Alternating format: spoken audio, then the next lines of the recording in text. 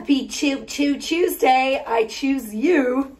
Actually, I've been chosen by one of the Steves, the Steve with the glasses, um, to perform one of his magical fave tunes by Hans Zimmer, the film composer, um, who composed a piece called Time. And it's been used in a couple of films, two of which I know, Inception and the recent Extraction um, with one of our own Chris Hemsworth in it. So um, I'm going to put my own little squeeze box spin on it without the squeeze box with my babies, the Kronos and the Nord, and um, recreate it with a loop station with the boss. So uh, happy Tuesday, enjoy.